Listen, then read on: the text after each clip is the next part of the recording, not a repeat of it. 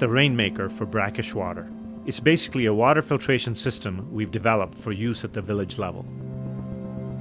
The whole unit is pretty small, completely self contained, and requires very little power. Pretty much the amount you need to run a hairdryer.